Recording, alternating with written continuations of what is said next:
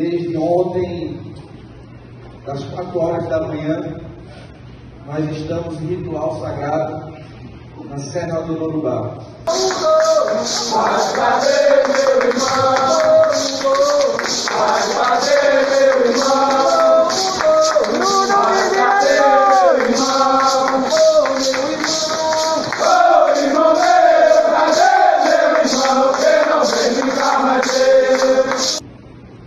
E nós, enquanto povo Chupuru, representando aqui os povos indígenas de Pernambuco e do Nordeste, não poderíamos, de forma alguma, de não estar presente aqui nesse dia de hoje.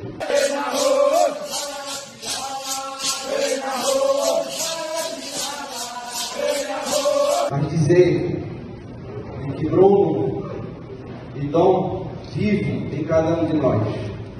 Porque hoje Bruno Dom se tornam encantados de luz em cada um de nós. Porque é deles que nos alimentamos.